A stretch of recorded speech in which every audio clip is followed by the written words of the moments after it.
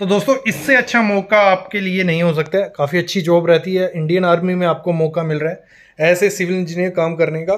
तो इसकी मैं डिटेलिंग पूरी आपको कर देता हूँ कि क्या क्या इनकी रिक्वायरमेंट है क्या क्या आपको कहाँ अप्लाई करना है। और पूरी डिटेल में इसकी आपको दे दूँगा नोटिफिकेशन का आपको प्रोवाइड कर दूँगा।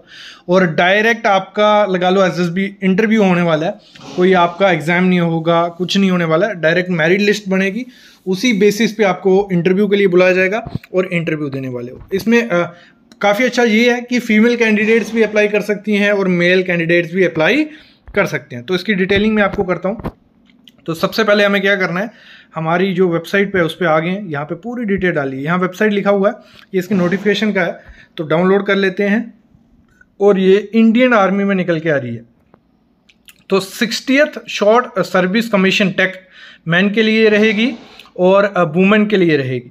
तो इसमें विडोज़ भी अप्लाई कर सकते हैं, जिनके मतलब जो लगा लो हस्बैंड या कुछ पर्सनल डाइड हो चुके हैं। तो वो इसके लिए भी, उनके लिए से पोस्ट हैं, वो मैं बताता हूँ आगे।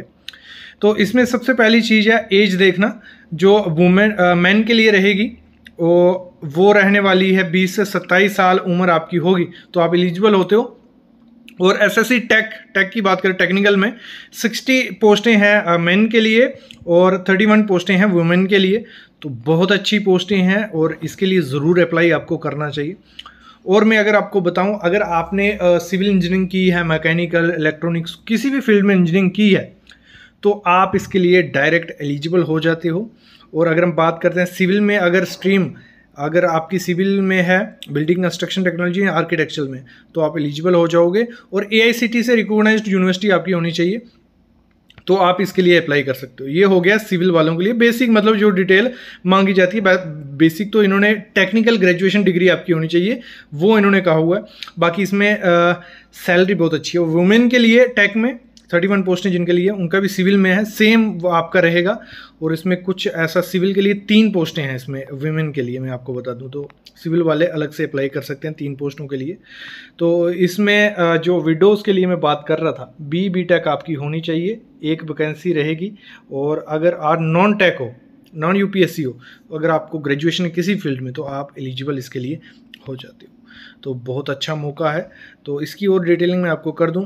तो ट्रेनिंग इसकी रहती है फोर्टी नाइन बेक हफ्तों की ये ट्रेनिंग रहेगी, जिसमें आपको काफ़ी सिखाया जाता है। और ये टोटली अनपेड होती है मतलब आपसे कुछ नहीं लिया जाएगा। गवर्नमेंट आपकी ट्रेनिंग करवाती है। कॉस्ट ऑफ़ ट्रेनिंग कर रही है। पूरी डिटेल पढ़ लेना एक बार। और लेफ्टिनेंट की पोस्ट पर आप जाने वाले हो स्टार्टिंग में। और ये बहुत अच्छा मौका होता है कि आपको स्टार्टिंग ऐसे मिल रहा है।